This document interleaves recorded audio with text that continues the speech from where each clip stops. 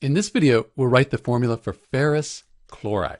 So ferrous chloride is an older naming system, often called the common naming system. This is another name for iron 2 chloride. So when we see ferrous chloride, we need to realize that since we're using this older system, the OUS means we have the lower ionic charge. For iron, we only have two possible charges here. We have Fe2 plus or Fe3 plus. So because it says ferrous, we're going with the Fe2 plus.